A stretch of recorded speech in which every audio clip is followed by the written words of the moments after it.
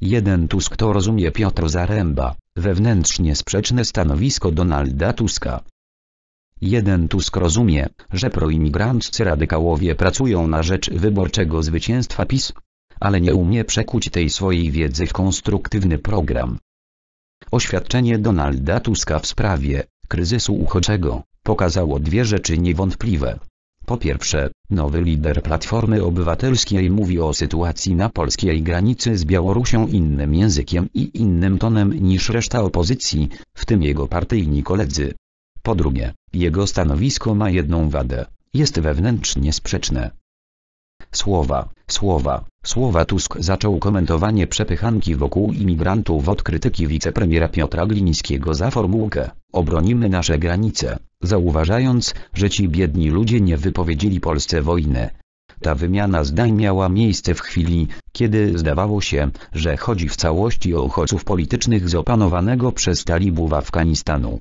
Dziś jest to kwestionowane, przybyszów z Afganistanu ma być mniejszość, i niekoniecznie są to ludzie uciekający ze swego kraju z powodu zaangażowania po stronie Zachodu.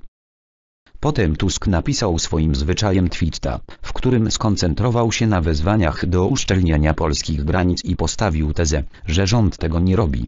W tym czasie opozycja koncentrowała się na żądaniu przyjęcia przynajmniej tej grupy spotu Snarza Górnego, która stała się zbiorowym bohaterem medialnego spektaklu. Część opozycji fascynowała się apelami Bartosza Kramka, aby nie zważać na zasieki, czyli granice w ogóle, więc otworzyć je jak najszerzej. Teraz w oświadczeniu Tusk łączy krytykę polskiego rządu za postępowanie w sprawie tej konkretnej grupy uchodźców z wezwaniem do uszczelnienia granic. Na dokładkę proponuje wszystkim siłom politycznym, w tym rządzącym, wypracowanie jakiegoś konsensusu w sprawie przyszłego postępowania wobec fali imigracji. Inni politycy opozycji nadal ograniczają się do protestów przeciwnie ludzkiemu rządowi, który podobno nie zdał egzaminu z człowieczeństwa. Kontekst Unii i sondaży co kieruje Donaldem Tuskiem? Po pierwsze, wiedza o stanowisku Unii Europejskiej obawiającej się fali imigracji i de facto sprzyjającej uporowi Polski i Litwy, aby imigrantów nie przepuszczać za cenę grodzenia własnych granic. Wypowiedzieli się na ten temat wszyscy europejscy święci od Angeli Merkel i Emmanuela Macrona po Komisję Europejską, w takim właśnie tonie. Reszta polityków polskiej opozycji te głosy ignoruje. Liberalne i lewicowe media unikają nawet ich cytowania. Po drugie, Tusk zdaje się być jedynym politykiem strony opozycyjnej, który interesuje się sondażami. Według ośrodka IBRIS tylko 38,1% Polaków chce przyjmować imigrantów, z tego tylko 7,4% zdecydowanie. Zdania przeciwnego jest 54,9%. Nie da się odsunąć od władzy PiS, jeśli nie znajdzie się formułki przynajmniej częściowo satysfakcjonującej tych, co się masowej fali imigracyjnej boją. Oczywiście trzeba to stanowisko choć do pewnego stopnia pogodzić z nastawieniem liberalnych ortodoksów wołających, że najważniejszy jest bezwarunkowy humanitaryzm i należy się w pełni otworzyć. Tusk próbuje zadowolić jednych i drugich. Stąd sugestia, że można i bardziej humanitarnie, i bardziej stanowczo. Jak pogodzić jedno z drugim? Dlaczego ta trzydziestka miałaby być wpuszczona, ale następni imigranci już nie? Czy to nie jest precedens? Tego wszystkiego Tusk nie mówi.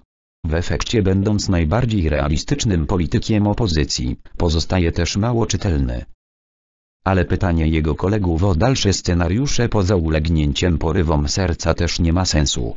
Opozycja w swoim głównym nurcie naprawdę kieruje się wyłącznie emocją. Pokoju nie będzie najcenniejszym elementem oświadczenia Tuska jest wezwanie, aby wszyscy politycy usiedli razem i wspólnie poszukali jakiegoś rozwiązania. Kłopot polega na tym, że formułuje je lider, który wrócił do Polski z komunikatem wyraźnie wojennym który do wczoraj przedstawiał opozycyjność wobec PiS jako wojnę bezwzględnego dobra z absolutnym złem. Teraz wzywa do pokoju. W tej jednej sprawie? Nie za późno? Pytanie, jak godzić pisowską nieustępliwość z niefrasobliwością powiedzmy posła Franciszka Sterczewskiego zawisa w próżni. Wedle najnowszego sondażu partyjnego Ibris ostatnio przerosło PiS i Koalicji Obywatelskiej, a więc tak ogólnie opłaca się nadal ostra polaryzacja. Ko przyrosło nawet bardziej, bo o 7 punktów, i to jest zapewne wciąż konsumowanie efektu Tuska. Dzieje się to jednak w momencie, kiedy Tusk do tego stopnia nie umie się dostroić do tonu własnej partii, że zaczyna się mówić o szemraniu przeciwnie mu w jej szeregach i o jego własnym rozgoryczeniu. Oczywiście wszystko to może się okazać przejściowe. Nie takie kryzysy Polacy zapominali po kilku miesiącach. Ale jest to bardzo znamienne. On jeden rozumie, że proimigranccy radykałowie pracują na rzecz wyborczego zwycięstwa PiS, który dziś ma 35% więc brak mu kilku punktów do bezwzględnej większości. Ale nie umie, a może z obiektywnych powodów nie może, przekuć tej swojej wiedzy w konstruktywny program.